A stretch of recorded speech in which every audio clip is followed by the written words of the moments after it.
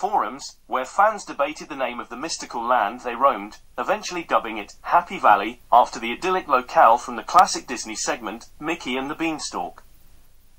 Penguin Books Australia quickly seized the opportunity, releasing the Bluey Dragon Doodle book. It encouraged children to unleash their creativity by drawing their own characters, places, and items to populate Happy Valley.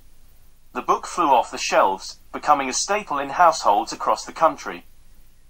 The craze spilled over into real life, as people began dressing up as Bluey and her family's Dragon Quest alter egos. Comic conventions saw an influx of fans proudly donning their costumes, sharing fan art, and crafting intricate backstories for the good Blue Fairy and her companions. The crossover appeal of Dragon with Dungeons and Dragons fans led to the creation of a compilation book